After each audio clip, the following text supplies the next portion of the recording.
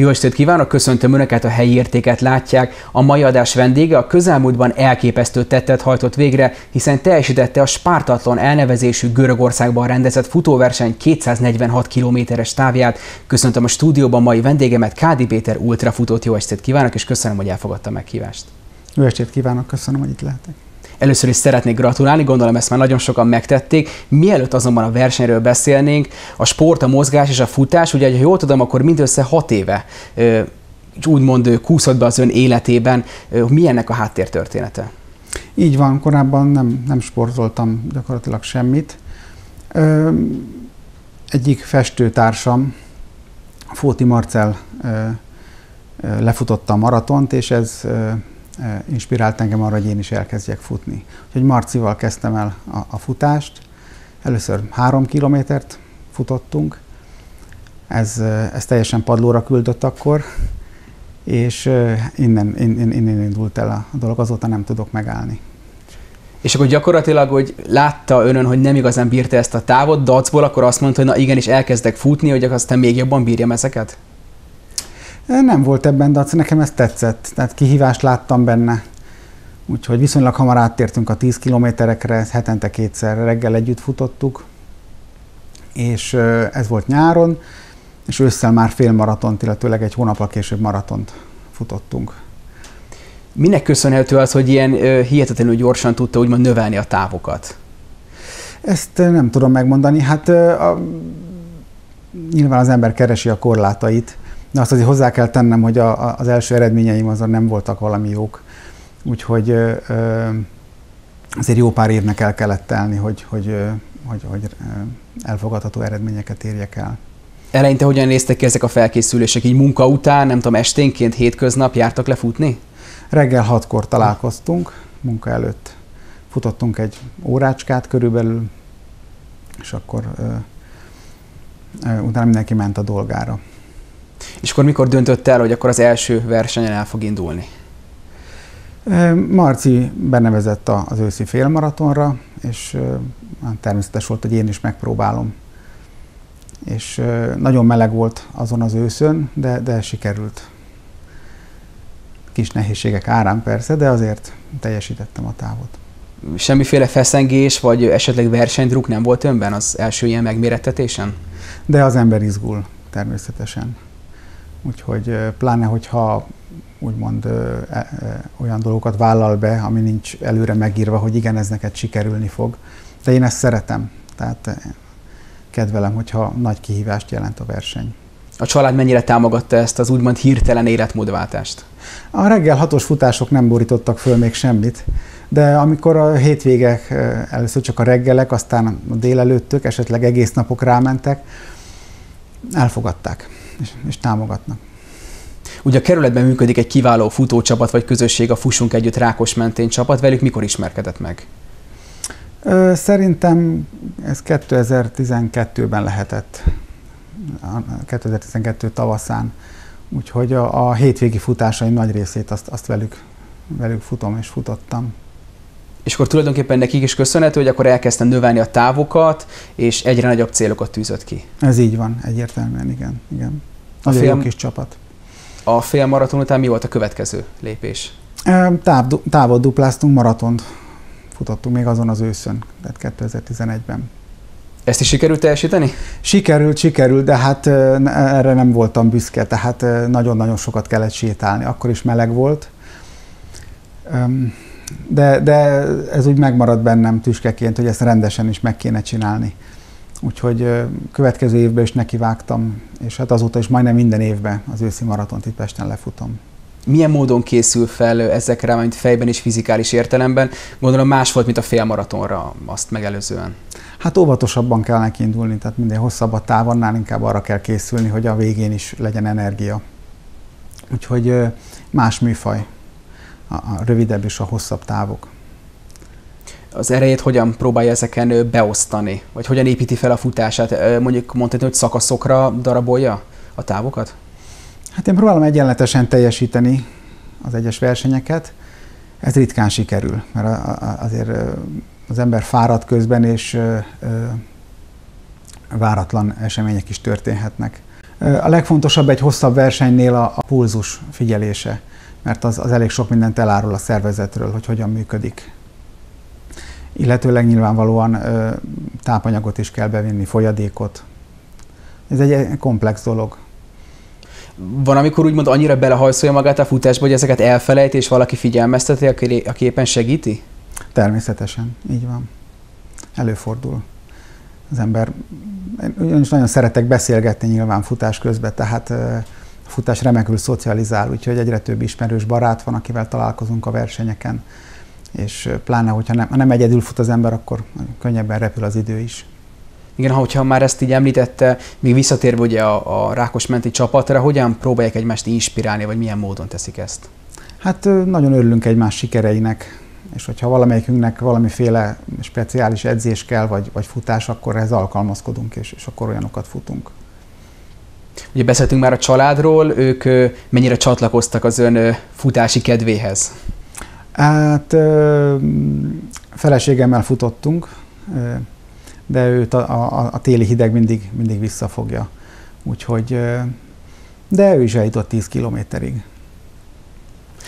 És ez gyakorlatilag el lehet mondani, hogy egész évben, amikor van ideje, és akkor nyilván meg is tervezi, akkor szokott eljárni futni? Nem csak versenyszerűen, hanem ugye egy felkészülési módon, vagy így a sima hétköznapokon. Természetes. Igen, igen, igen. Hát hetente ötször. Általában. Gondolom, hogyha már készülök valamire. Egy-két nap kimaradnak, már hiányozna, nem? Hiányzik. Hiányzik. A sérülések alapvetően elkerülték? Nem. Tekintve, hogy elég gyorsan növeltem a távokat, illetőleg hosszabb, az aszfaltos versenyek mellett hosszabb terepversenyekre is mentem. Ott egy-két rossz lépés tönkre tudja tenni az ember bokáját, tehát ezekben én belefutottam azért.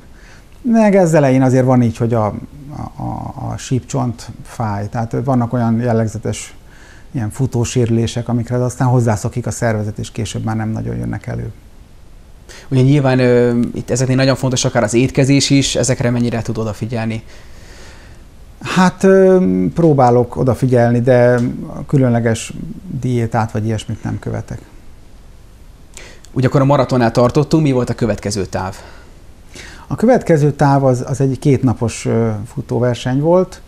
Ott kellett futni egy, egy maratont, és másnap egy kicsit hosszabb távot, 50 kilométert.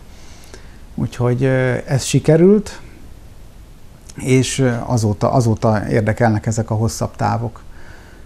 Úgyhogy utána szépen fokozatosan az 50 km után jött a 60, 70, 80, és aztán így tovább. Ugye el is mondta, hogy nagyon gyorsan növelte a távokat, tehát én meglepően könnyen alkalmazkodott úgymond a szervezete erre, vagy ezekre? Hát azért ez évek, évek kellettek, amíg az ember úgy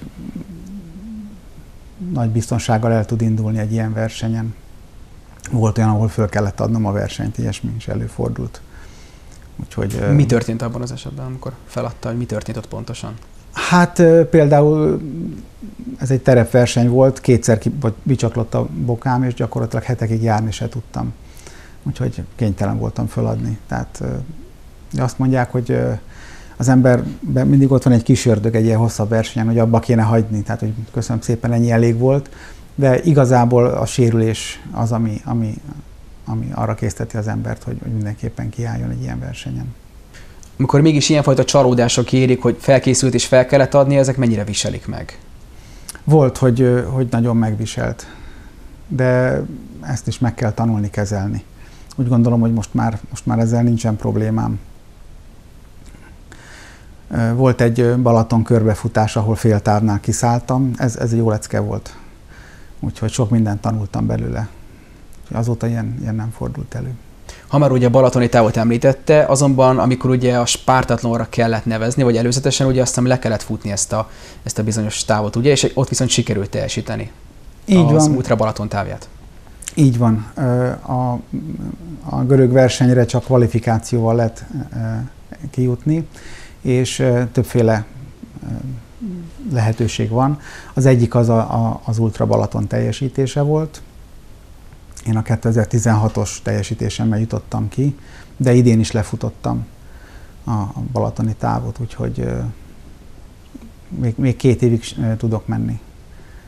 Ekkor már elhatározta, hogy el fog indulni Görögországba ezen a bizonyos versenyen, vagy még ezelőtt eldöntötte? Nem, utólag tudtam meg, hogy ez, ez, ez beugró lehet a, a versenyre. Előtte mindig azt mondtam, hogy én erre a versenyre nem megyek, és nem is kell rajta gondolkodnom, mert oda se engednek a verseny közelébe. De amint ez megváltozott, azonnal neveztem. És nem is ilyetnek hirtelen ettől az elképesztő távtól? Dehogy nem. De na, tartottam tőle nagyon, és mindenkit felkészítettem rá, hogy itt jó eséllyel én ki fogok esni.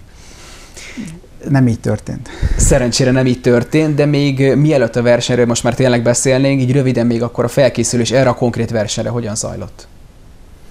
Fokozatosan növeltem a heti futott kilométerek számát. Általában olyan 80-90 kilométert futok egy héten, de a verseny előtt ezt felépítettem olyan heti 160 kilométerig. Ez azt jelentette, hogy, hogy munka után futottam 20-30 kilométereket esténként. És hétvégén pedig próbáltam kicsit hosszabbakat futni. Úgyhogy egy ilyen versenyre se kell nagyon hosszút futni egyébként, tehát a 4-5 órás futásnál hosszabb nem kell. De és hát nehéz, mert az ember nem tudja eldönteni, hogy most keveset futok, vagy esetleg túl sokat, mert az se jó, tehát valahogy ezt okosan kell belőni. Ez néha nem egyszerű. Akkor ön ilyen tudatosan is ilyen kisebb, hát kisebb, ez most relatív etapokba építette fel ugye akkor a felkészülés során ezt a távot. Igen. Szokott általában segítséget igénybe venni, hogy valakivel, aki húzza vagy motiválja, vagy csak magára hagyatkozik így a felkészülések során? Nincs tervem, hogy még sokszor reggel se tudom, hogy délután mit fogok futni. Nyilván délutánra azért már valamerre csak elindulok, de ha valakivel találkozom útközben, akkor sokszor megváltoztatom az aznapi tervet. Úgyhogy volt, hogy másokkal előre megbeszéltük, de általában egyedül futottam ezeket a délutáni futásokat. Akkor beszéljünk végre a versenyről. Hát nem túl optimistán, de kiutazott, és amikor megérkezett, és úgymond célhoz kellett állni, és elindult a verseny, vagy rajthoz, akkor igazán realizált, hogy úristen, most 240, 246 kilométer vár rám?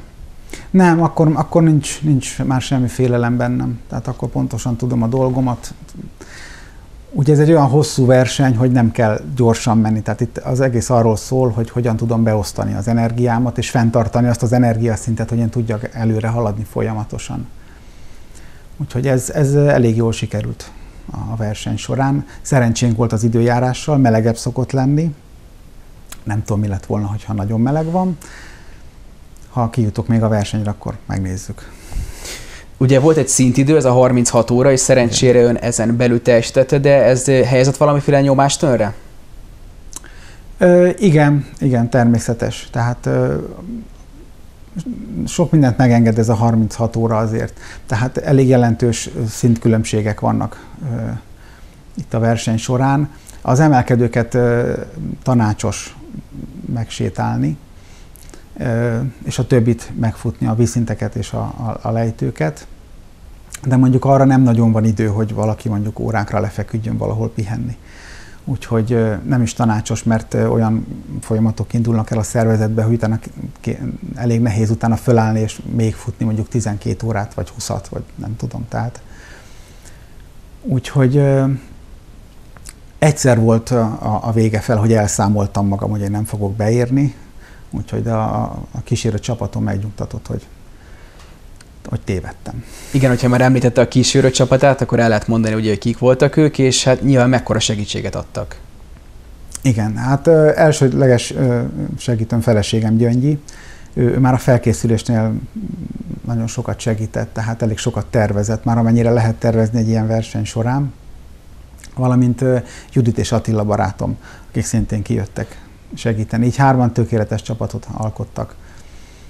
Voltak egyébként ugye friss időpontok nyilván kihelyezve, ön mindegyiknél megállt, vagy valamit csak így átrohant rajta? Én megálltam mindenhol, általában csak vizet vagy kólát, ilyesmit vettem magamhoz, illetőleg chipsetettem még a, a, a sópótlásra, mert azért elég sok sót elveszít az ember a verseny során, ezt muszáj pótolni.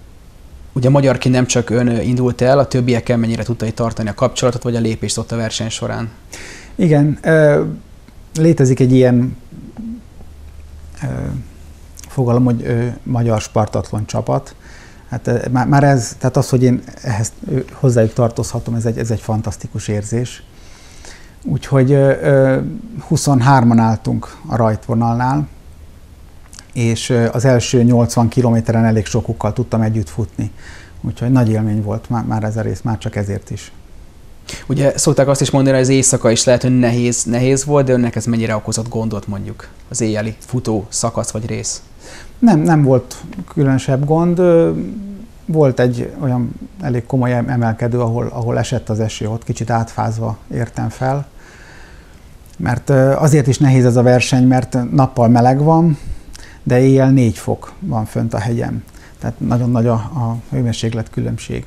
Úgyhogy föl kell készülni arra. Én momentán téli kabátot vettem föl, a téli futókabátomat vettem föl, és úgy mentünk fel egy 1100 méter magas hegyre az éjszaka során. És az autót gyakorlatilag végigkövette, és az éjszaka például ők adták a fényt önnek? Vagy, vagy ki volt nem, világítva bármi Nem, fejlámpa van mindegyikünknél. Tehát magunknak világítunk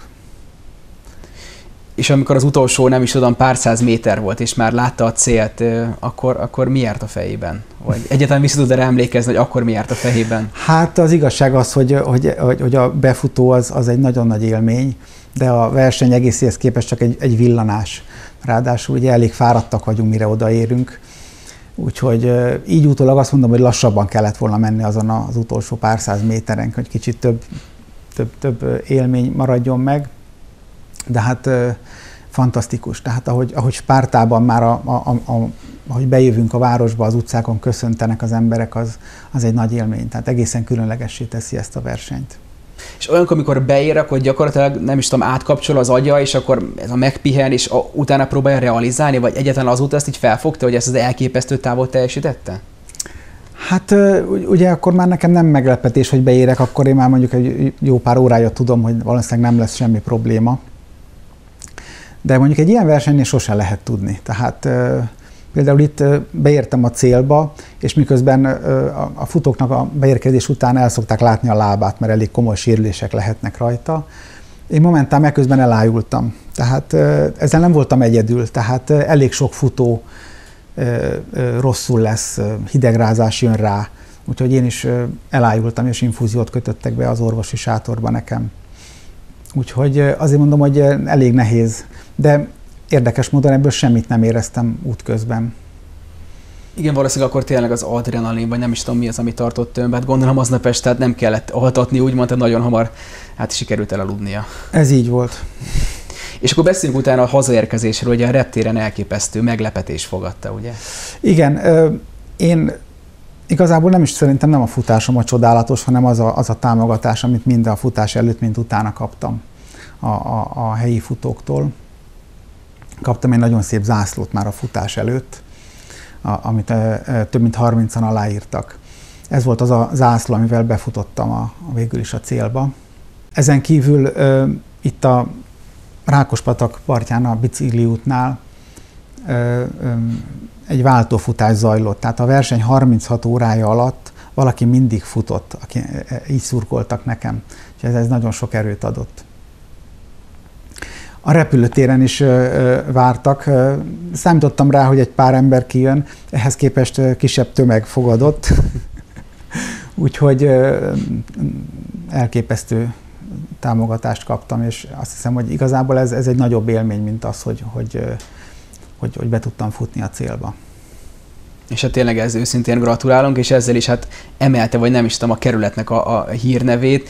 Még azért azt beszéljünk ugye a kerületi kötődésről, mióta él itt a 17. kerületben? Életem nagy részét itt töltöttem. Egy darabig laktam ugyan új palotán, de Rákoskerten nőttem fel, és most Rákoshegyen lakom családommal. Fontos hogy megkérdeznem, hogy mióta hazajött, hányszor volt már futni? Ó, nem tudom pontosan négyszer, ötször, de nem, nem elégszer. Valahogy erre válaszra számítottam egyébként. Mi az, amire most készül? Vagy most egy kis pihenés van? Hát az az igazság, hogy egy ilyen versenyre, amikor az ember felkészül, ez lemondásokkal jár. Tehát nem csak mondjuk arról mondok le, hogy ide vagy oda elmehessek, hanem tehát családi programokról adott esetben, hanem lemondok arról is, hogy bizonyos versenyekre elmenjek. Úgyhogy most egy kicsit ez szabadabb. Úgyhogy ami megtetszik, azt oda elmegyek. Úgyhogy hát ilyen hosszú távok nincsenek most tervben, de ilyen 85 kilométer a hegyek között ilyen azért lesz nem sokára. Tényleg elképesztő, milyen ilyen számokat említ, így felfoghatatlan így emberi észre tulajdonképpen. Ö, és hogy a hosszú távon nézzük, akkor meddig tervezi még? Ameddig a, a szíve, a lelke és a lába az viszi a futást? Igen, igen. Tehát nekem nincs, nincs ö, ilyen verseny célom igazából, tehát a spártatlan is csak egy lépcső volt. Úgyhogy, ö, de hát ö, valószínűleg ide is szeretnék visszatérni. Úgyhogy... Ezt is szeretem volna igen megkérdezni, hogy akkor újra tervezi lefutni, hogyha van, vagy igen. lesz még majd rá lehetőség. Igen, igen. Sajnos ez olyan sokan jelentkeznek, hogy sorsolással lehet bejutni, de létezik egy olyan, úgymond kiskapu, hogyha valaki elég jó futó, akkor a sorsolás nélkül is bekerülhet. Én még nem tartok itt. Úgyhogy az is cél, hogy, hogy egy, ilyen, egy ilyen kvalifikációt összehozzak esetleg. Én beszélgetésünket azzal zárnám, hogy hogyan tudna ajánlani mondjuk a fiataloknak, vagy bárkinek a futást, mint sportot? Ha nem is ilyen elképesztően hosszú távra, de úgy egyébként, hogy mi az, amit ez a sportág adott önnek, vagy adhat másnak? Úgy gondolom, hogy a hosszú távfutás az, az, az egy olyan sport, amihez nem is feltétlenül kell rengeteg adottság. Igazából kitartás kell hozzá. És ez mindenkinek nyitva áll mindenki előtt. Reméljük, hogy így lesz. Én szeretnék még egyszer gratulálni ez a hihetetlen teljesítményhez, és hát kívánom, hogy nagyon sokáig fusson, és vigye Rákos mente hírnevét. Nagyon szépen köszönöm a beszélgetést. Én köszönöm, hogy itt lehettem. Köszönöm. Önöknek pedig a figyelmüket köszönöm meg, tartsanak velünk legközelebb, és viszontlátásra!